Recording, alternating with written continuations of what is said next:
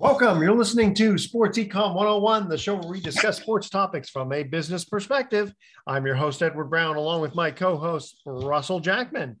At each commercial break, we're going to ask a sports trivia question. Today, it's baseball players whose last name starts with R. Uh, when are you going to when are you going to have uh, some NBA stuff? I mean, it really is NBA season. Well, I know, but we got to finish off the World Series. So I, am uh, already done. I'm you're already. You're already done. Well, I'm already too... done with. It. Once well, the Dodgers lost, I was done with baseball.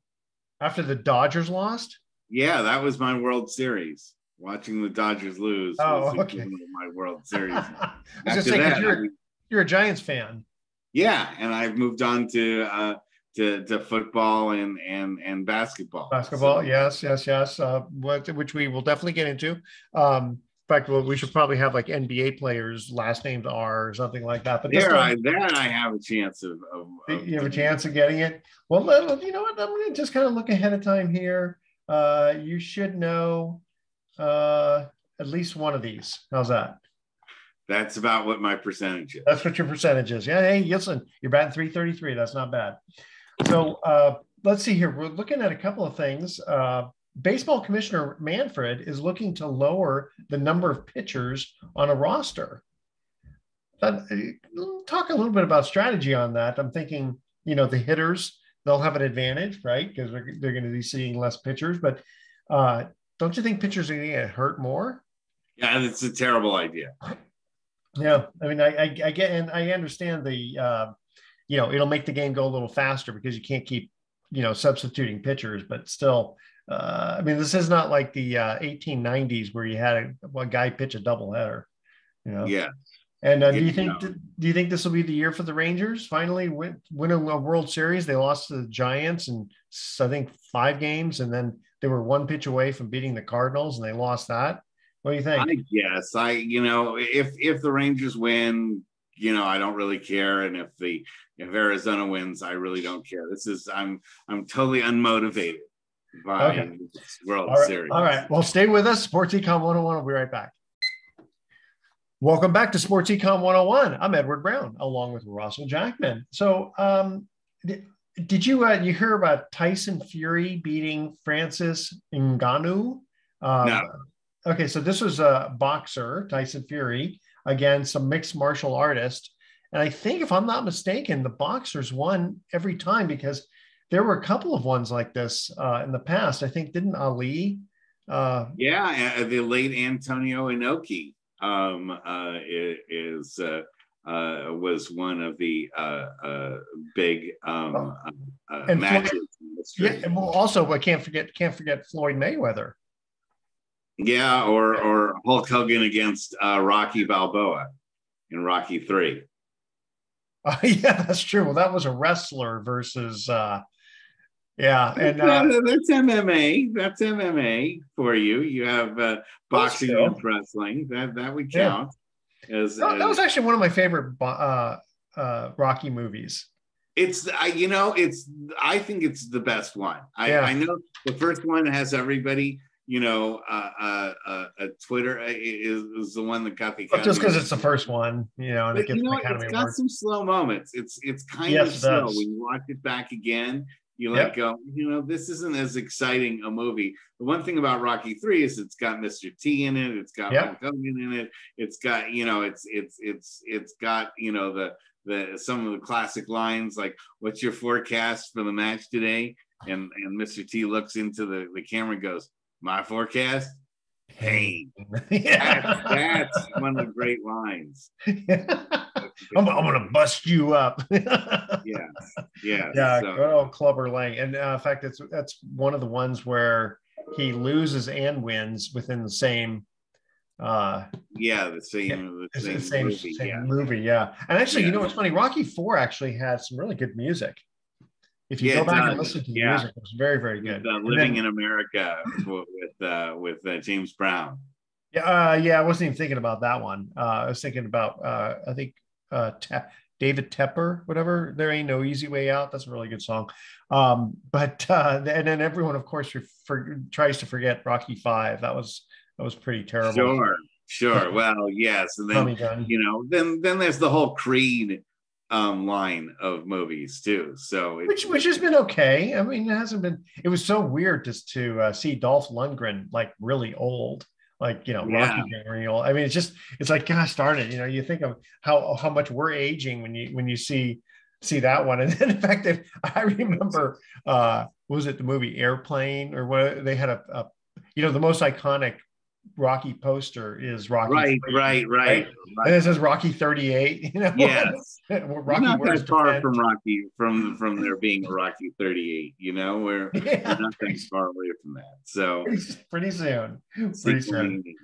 But it definitely does. You know, the boxer versus the uh, mixed, mixed martial artist definitely. Uh, it's it, always it's it's it's the it's the kind of thing that people always want to know. Like yeah. what's what's what is a bigger deal? You know, uh, it does a uh, hammer beat a saw. You know, in in oh yeah, you know, the, you always want to know does a uh, sword beat a a, a, a an axe? You know, and, and does, does and does rock beat scissors? And does yeah. scissors really beat paper? And does paper really beat rock? Mm-hmm. Mm-hmm. mm-hmm. the uh, you know what's interesting, and again, this was going back. I don't know, mommy. Gosh, but mom and mom and about 30 40 years. Maybe they they had for fun on a i don't know if i guess they maybe they did it on tv too but uh, uh, yeah where they they said you know what would happen if muhammad ali fought uh, rocky marciano? You know? And uh, it's interesting because I, I would have taken uh, um, mike tyson in his prime. I would take uh, muhammad ali. That guy muhammad ali had skills and abilities to to and strategies in the ring that unfortunately no one has ever had since. I think that that, that no one has had the, the the brains in the ring the way that Muhammad Ali. Well, he definitely knew how to do it. That, that I kind of I wish that they would have done the Rumble in the Jungle with George Foreman in normal setting rather than in Zaire where it was you know a million degrees yeah. and, and, he didn't train right and his head wasn't in the game because Foreman was just a he he was a powerful puncher. And well, this uh, is why we have video games. The video games were, have been you know made to always do those kind of simulations to so that you could you know at least in a video game sense and using using statistics and computer stuff yeah.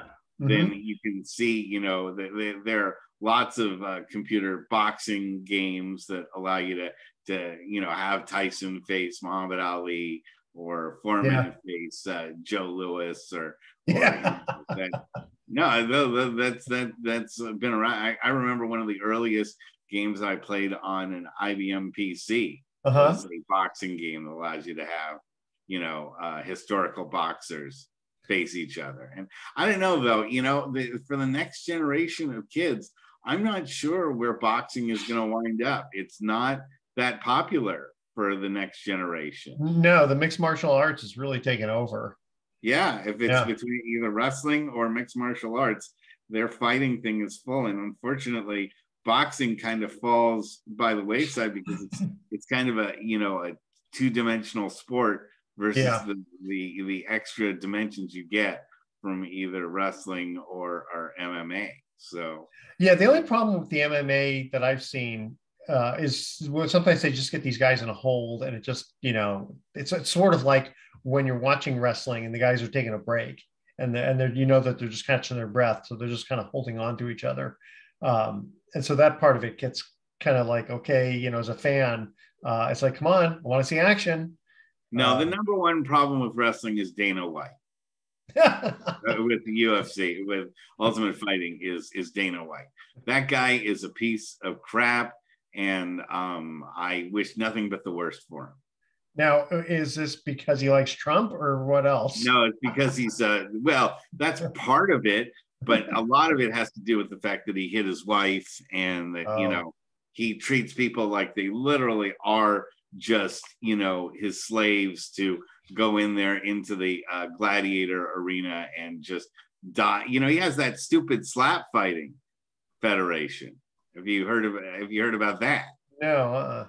You haven't. Okay, slap you'll have to go to the internet when we're done here and okay. look up the slap fighting league, where he has a competition where guys literally, you know, one guy puts their hands on a podium and holds on while another guy hauls off and slaps the guy as hard as he can in the face.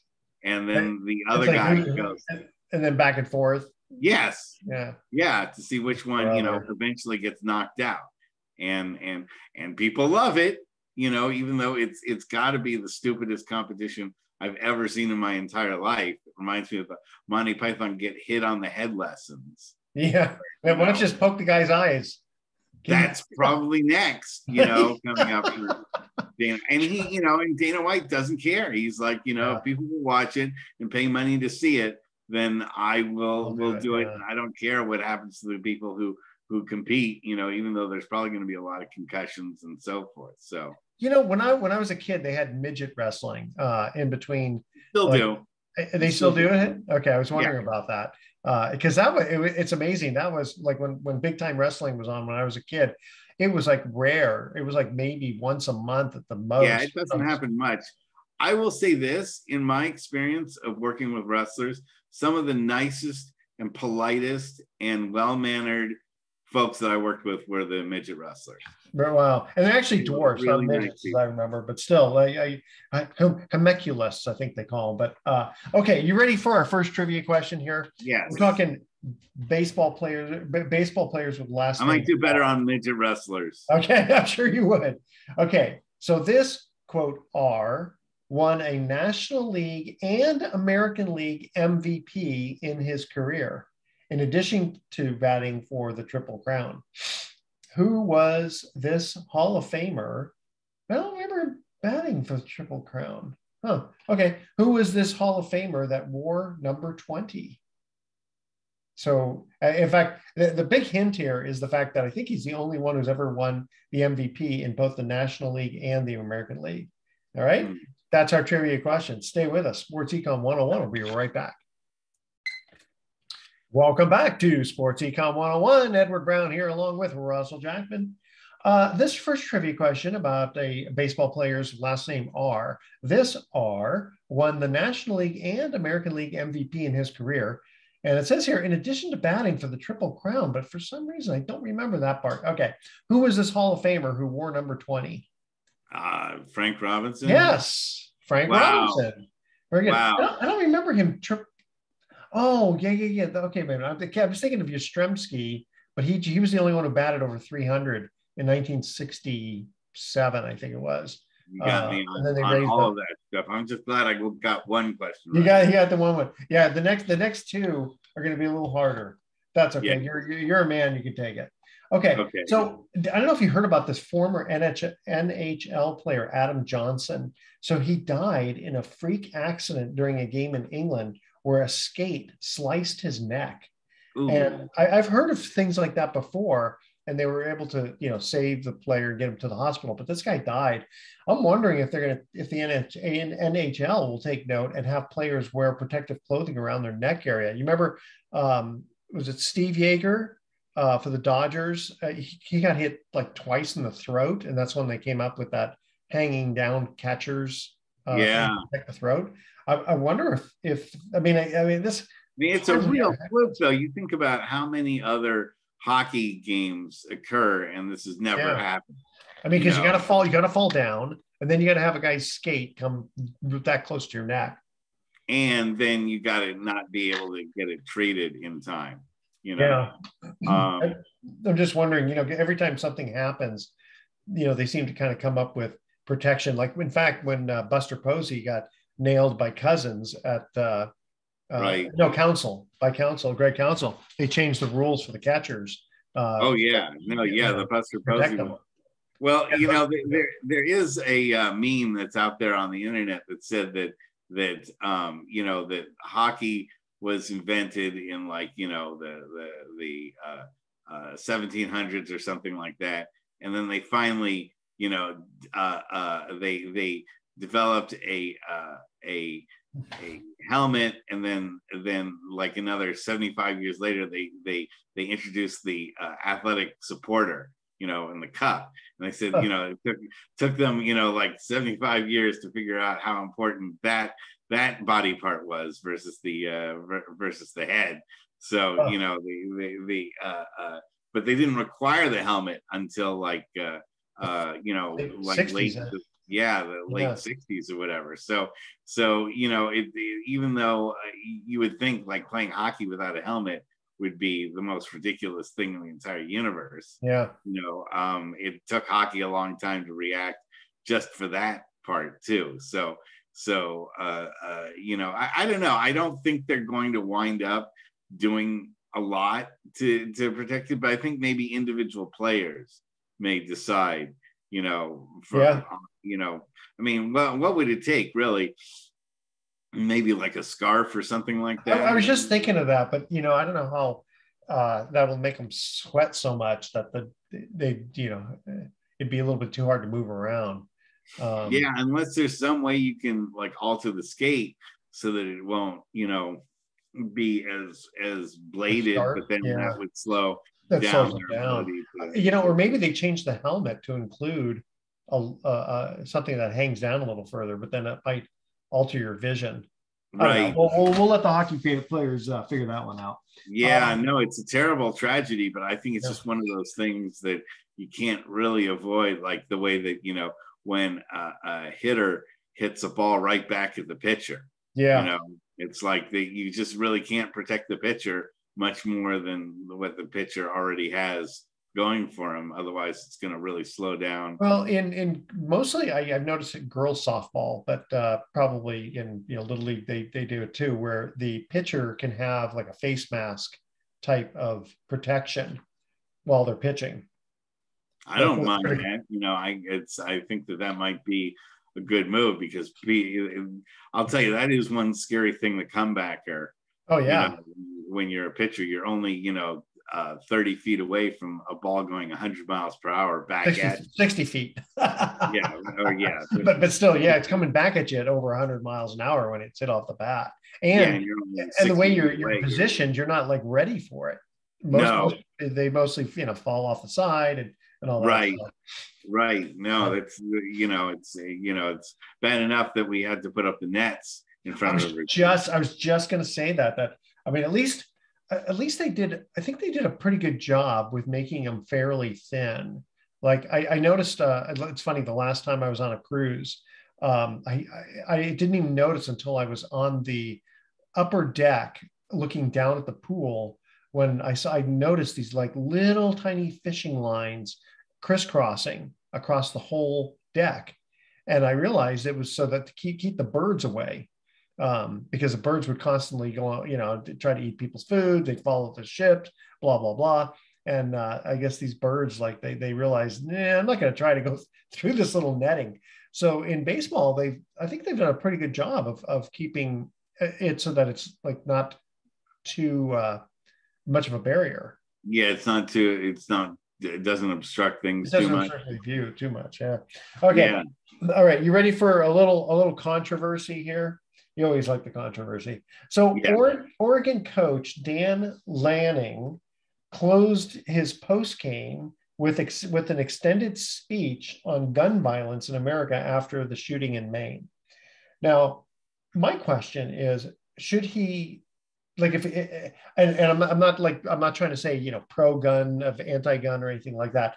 But when it comes to stuff like that should you maybe have like a special press release or a press conference rather than using a post game to talk about things that have nothing to do with the game?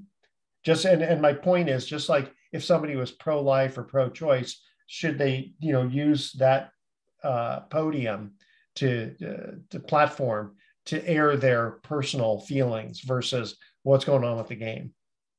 Well, you know, those post game conferences are usually pretty pretty boring. they're, they're pretty useless. I mean, yeah. I, I, I've never I've never heard someone say unless they say something very controversial that you know they, they, they say you know it's the coach's fault it's the player's fault or something yeah. like that you really don't get much out of those conferences True. anything else now on the other hand, if you're the team and the guy is saying something that is contrary to what the team's philosophy is, you know, uh, mm-hmm. that could be a real problem. And sure. so I do think that there's probably a better spot I mean, first of all, I totally agree with him that I think that that that gun control is is out of control mm-hmm. in the United States, and we've had a number of terrible gun tragedies in the last you know week, you know, mm-hmm. and it really upsets me tremendously. I don't own a gun, mm-hmm. and I will never own a gun.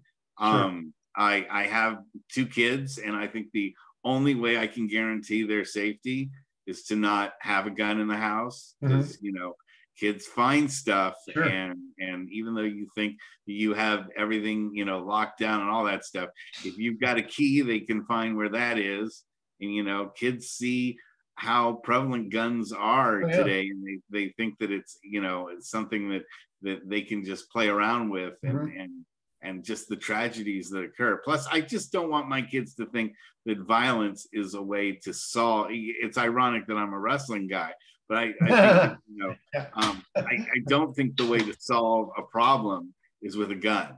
You know, I really don't. You know, I it, it's it's one thing to take a folding chair and hit somebody over the head with it, but when well, especially when it's scripted, you know. Yeah, but when it's a, it's a when it when it's a gun, you can't really once you commit to using a gun, that's pretty much the end. You know, the, the, it's it's going to end in a specific way, and usually that's not going to be a positive one.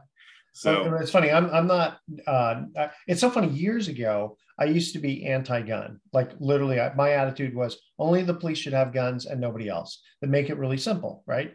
And then it was kind of I got educated a little more where it was like, okay, well, really, let's think the, think this through. Okay, let's pretend that you do that, and everybody turns in their guns uh, except for the police. Do you think the bad guys are going to turn in their guns? No. In fact, what ends up happening is that's at the when you look at and you see a sign that says no guns allowed at this school. That's when the the, the bad guys take advantage of it because they know nobody else has guns. So why you got to restrict ammo. That's why you have to. You know, that's that's actually more the you, you know you're right. If you don't produce if ammo, bullets cost a hundred dollars each. If bullets cost a hundred dollars each, you wouldn't have as many mass shootings because nobody could afford to mass shoot somebody. Uh, that you know, you know that, that's actually true. I don't I don't know the logistics of how that would actually work. You shouldn't be able to go into Walmart and buy a thousand rounds of ammunition and no red flags are at all you know, well, the guy, the guy just says I'm a bad shot when I'm doing yeah, target practice. And, and, and you know what? If you're a bad shot, then you should have to go to a, to begin with. Hey, right. you got it. You got it there. All right. So uh, we're going to move on to our second trivia question here, talking about baseball players with uh, the uh, last name R. Okay, so this Hall of Fame career Dodger shortstop played from 1940 to 1958. Yeah, Amazing. I'm already out. I'm already out of this one you know, you should know this one. Amazingly, the only major category that he led the league in was with runs scored in 1949 and stole bases and stolen bases in 1952. Wearing the number one, he went to seven World Series with the Dodgers.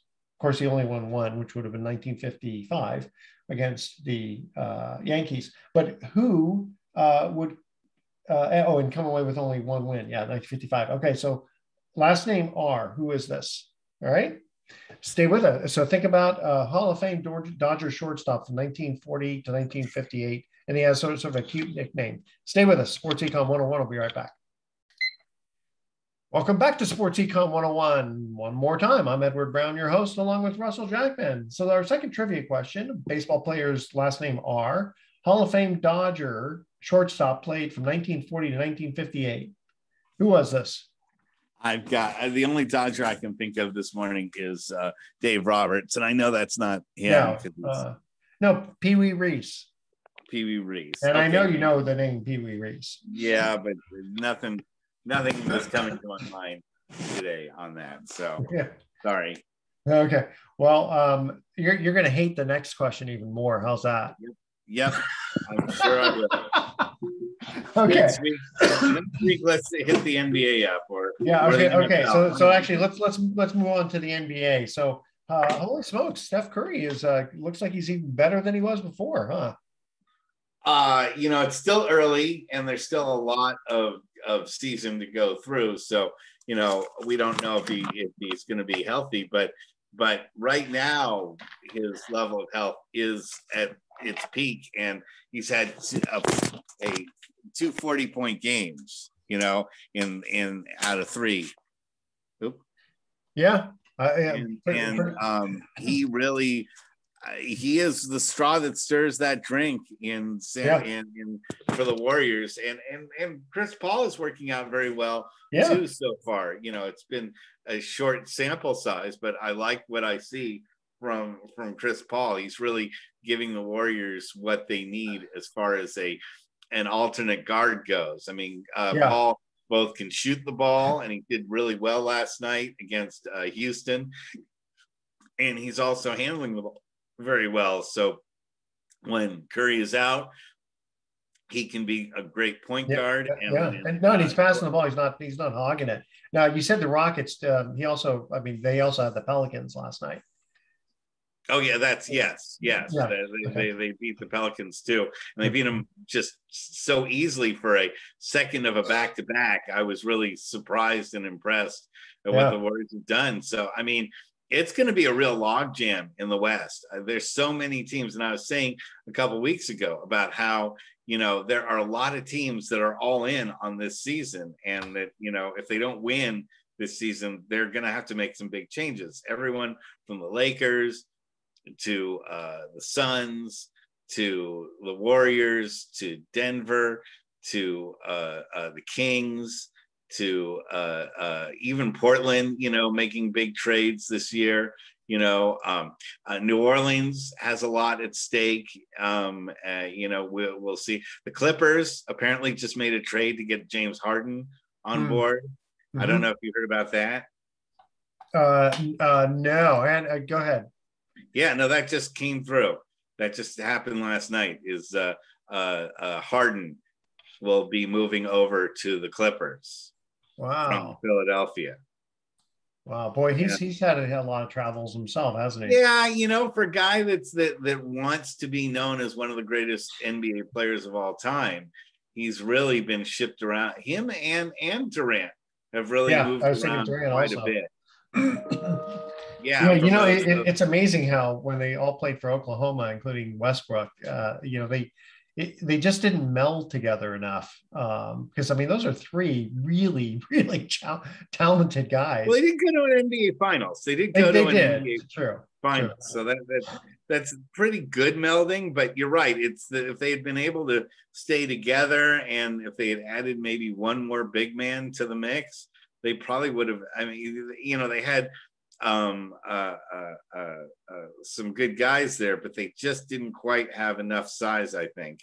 At, at every yeah, that, that, that's true. Boy, I tell you, Denver's still looking really smoking, and uh, and the Celtics with Porzingis. I mean, he's he's he's sort of kind of you didn't hear about about much of him last year, but uh, you know, when he was with the Knicks, he was doing really well, and uh, that that Celtics team is going to be really. Uh, I don't know. I could I could easily see a Celtics Nuggets uh, finals. Yeah, the Celtics are all in. Another one of those teams that invested a lot in this season to try to win after not coming short a couple of seasons ago.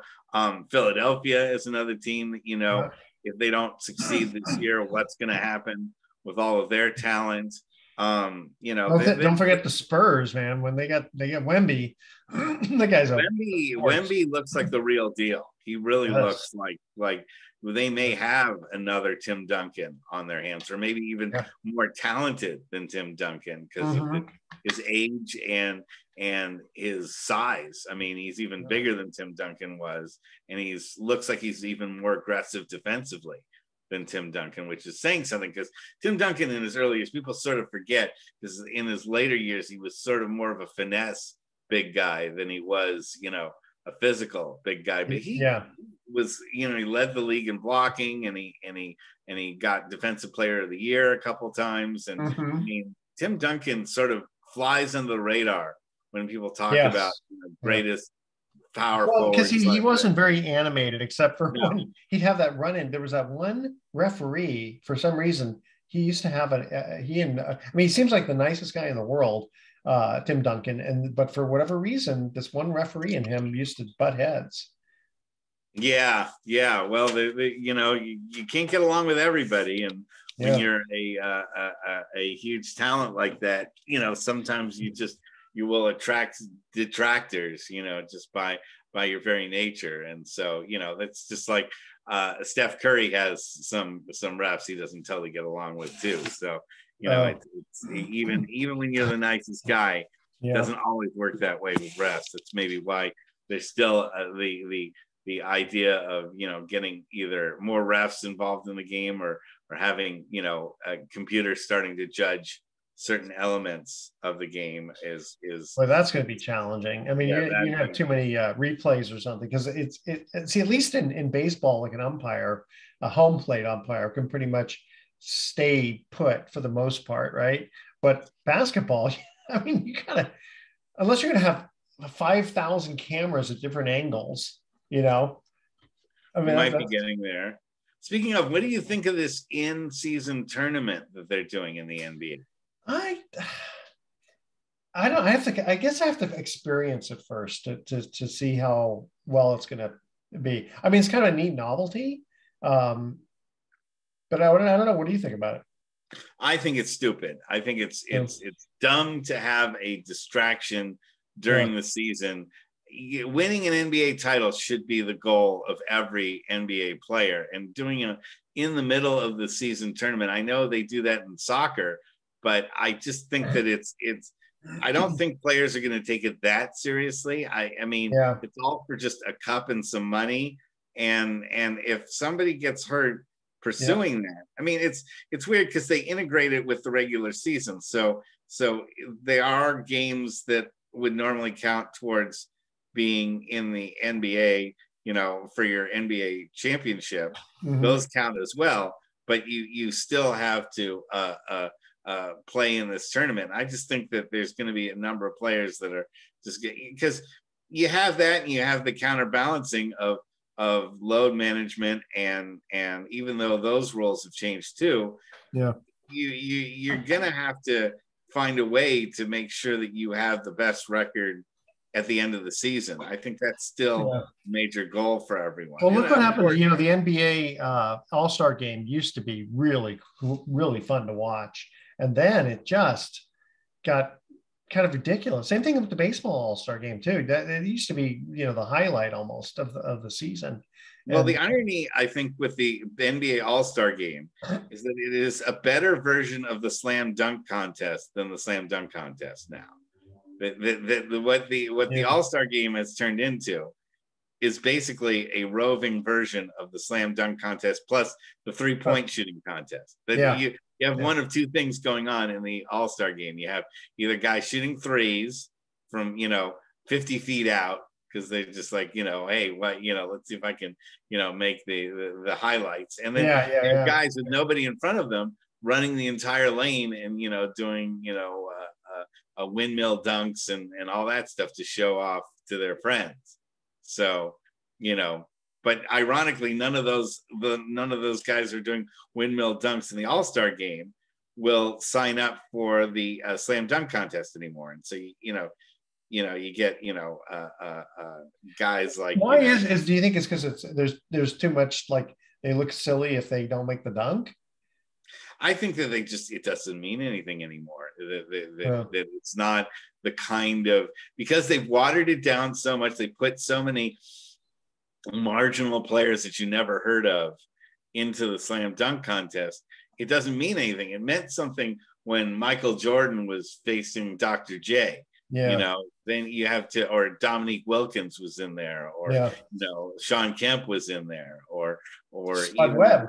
Yeah, even Spud. Spud Webb. Yeah. Guys really wanted to win to beat the other guy. But now it's more like, oh, you know, since Blake Griffin jumped over the Kia and and won. You know, they, everyone's been trying to do some crazy yeah. prop type, you know, uh, uh, uh, uh, performance, and it's it it becomes silly. It's not it's not something that that I you know, and I also think that there if if I were to redo the draft. The, the uh, draft. If I was to, re- to redo the dunk contest, this is what I would do. I'd have the first one would be um, uh, seeing how far you could jump to make a dunk. So from like the free throw line or yeah, further, that's what Jordan. That's what Jordan did. I remember. Right. Yeah. The second one would be um, they have a, a little device that, that they never use in the NBA, but I wish they would. They uh, saw it a number of years ago. They have a little camera in on the um, actual uh, uh, uh rim, and uh-huh. it checks how fast you dunk and with how much power you dunk. And so I would love to see like a measurement of like power and like you know. Well, yeah, you, you, you, gotta get, you gotta get Darryl Dawkins back in there. Yeah, yeah, yeah, yeah. to see how hard you know Artis Gilmore. You know yeah. how hard you can throw down. The, the problem know, is you have to have a different. Uh, I mean, even with these breakaway rims, uh, I've seen it where it's off kiltered and and then it takes them 45 minutes to fix it. So, uh, not sure about the speed. You know, the, the, the that unless you're going to have some separate rim that they do. Actually, you know, it'd be kind of fun. How about if they raised it to 11 feet? You know what was interesting about that is that they tried that. They they they tried that for a couple of uh, exhibition games, and the interesting point was that even at 11 feet, or I think they made it 12 feet, even at 12 feet, there was still dunking. People were still finding ways to dunk. But what it did was it made outside shooting fall right into the toilet. Oh, I bet. Is that guys couldn't yeah. hit an outside shot any longer. If you change, they're so precise on how yeah. to hit a three point shot. well, it, it, would. I think it would. It would. I mean, that would ruin their quote career because it's sort of like you know, okay, let's let's play baseball. Let's with a tennis ball. I mean, that'll ruin your arm. So the same sort of thing. okay, we're going to go to our last trivia question here. Thank goodness for you, right? Uh, yes. Uh, baseball player's last name ending in R. This Hall of Fame R was a pitcher, mostly with the New York Giants in the 1890s. Oh, he was please. a 20 game winner eight times and a 30 game winner four times. He also threw for a triple crown in 1894. I guess that's uh, ERA and all that. Who is he? I'll give you a hint. They, they called him the Indiana Hoosier. And I, I, I told you this before that he threw so fast that it's because of him that the pitcher's mound was moved back to where it stands today at 60 feet, six inches. That's our trivia question. Stay with us. Sports Econ 101 will be right back with some closing comments. Don't touch that dial. Yeah, well, it's from the 1800s. Welcome back to Sports Econ 101. All right, here's our last trivia question. Hall of Fame R was a pitcher, mostly with the New York Giants in the 1890s. He was a 20 game winner eight times, a 30 game winner four times, also threw for Triple Crown in 1894. I'm sure that's not the hint that you needed. Uh, he was called the Indiana Hoosier, and it was because of him who he threw so fast that they moved the pitcher's mound back to 60 feet, six inches where it stands today. Who is this famous pitcher? I just want to go on record and say I'm really disappointed you didn't find a way to work a trivia question in about Rick Reuschel. Ah, because that, that would have been double R's. Yes, that, that, that, would have been. I was hoping somehow. And Rick Reuschel is old enough, but I don't think he, he pitched in the 1800s. No, he didn't. But uh, this is Amos Rusie. You, I, you, we could have been here all day, and I would not. You have, still wouldn't have gotten. You wouldn't have gotten Amos Rusie. Come on. No, I don't. I've never. I thought he was your favorite pitcher from the 1800s. Never heard of him. never. Oh man, you look him up, and again, it's because of him. He was so he was such a fast pitcher. Uh, I don't know how many you know, maybe through, you know, in the high 90s or 100 miles an hour, who knows? But that's why they moved the pitcher's mound back. Okay, are you ready for our thoughts for the day? After that trivia question, you know what? Maybe I am. Maybe you are. Okay. So when I was a kid, my dad got fired from his job as a road worker for theft. I refused to believe he could do such a thing. But when I got home, the signs were all there. Oh. The signs were all there. okay.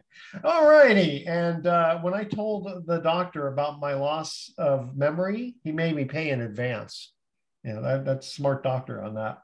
All right, tune in next week to Sports Econ 101. We're going to be discussing sports topics from a business perspective and asking more sports trivia questions. Thanks for listening. On behalf of our team, I'm your host, Edward Brown. We'll see you next week. Adios. So long.